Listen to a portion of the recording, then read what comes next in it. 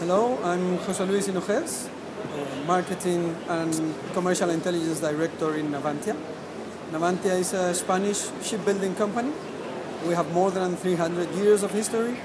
We build, design and build vessels.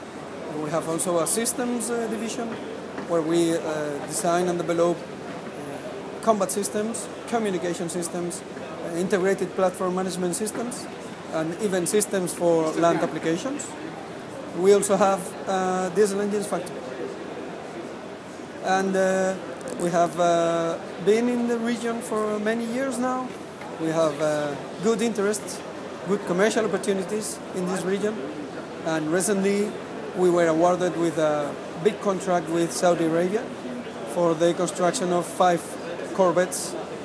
And for that reason we have also uh, formed a joint venture together with SAMI which name is going to be SANNI, SAMI Navantia Naval Industries.